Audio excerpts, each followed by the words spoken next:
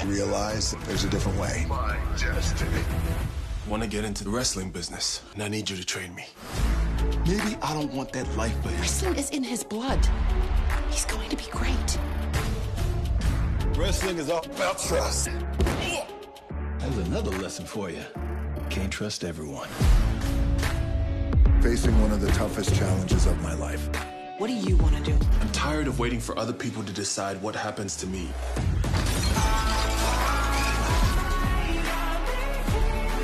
I'm witnessing your transition from boy to man. Do you want to go grab a drink? I'm 15.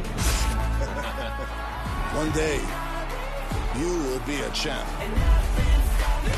He pushed me to do things I never would have done.